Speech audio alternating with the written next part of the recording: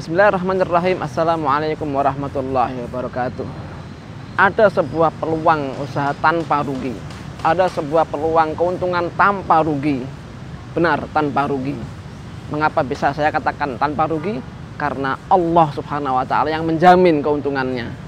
Dalam surat Al-Baqarah ayat 245 Allah Subhanahu wa taala berfirman, "Man dzalladzi yuqridullaha qardan hasanan fayudha'ifahu lahu adha'afan katsirah."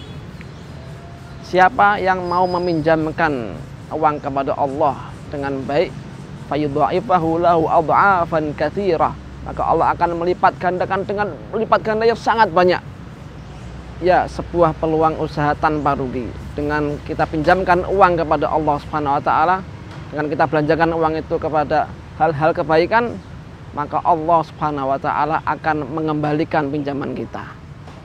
Mari kita perhatikan Allah Subhanahu wa taala menggunakan kata yuqrib. Yaqtarib Allah Subhanahu wa taala berhutang kepada kita. Bagaimana bisa Allah berhutang pada kita? Karena diri kita milik Allah, harta kita juga milik Allah Subhanahu wa taala. Tapi Allah berhutang kepada kita. Ini adalah untuk penekanan bahwa setiap harta yang kita belanjakan dalam hal kebaikan kita pinjamkan kepada Allah, maka Allah pasti akan mengembalikan. Di saat orang datang kepada kita untuk meminjam uang, dia datang untuk meminjam uang dan kita pinjamkan uang kepadanya dengan harapan bahwa uang itu akan kembali. Tapi yang meminjam uang kita di sini adalah Allah Subhanahu wa taala. Allah yang memiliki langit dan bumi. Allah yang menciptakan kita. Allah yang memberi kita kemampuan untuk kita mencari uang, Allah yang meminjam uang kita. Padahal uang kita adalah milik Allah. Tapi Allah pinjam karena Allah berjanji akan mengembalikan. Lahu adha'afan katsirah akan dilipat gandakan dengan lipat ganda yang sangat banyak.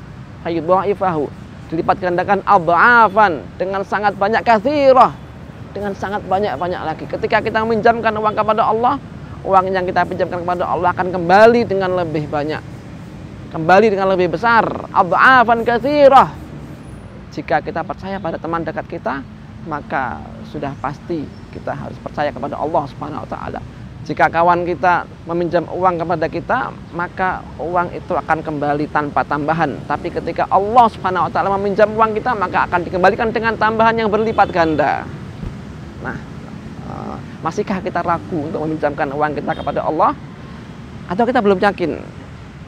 Mari kita pinjamkan uang kita kepada Allah karena Allah berjanji akan mengembalikan dengan berlipat-lipat ganda lebih banyak dan Allah tidak pernah mengingkari janjinya.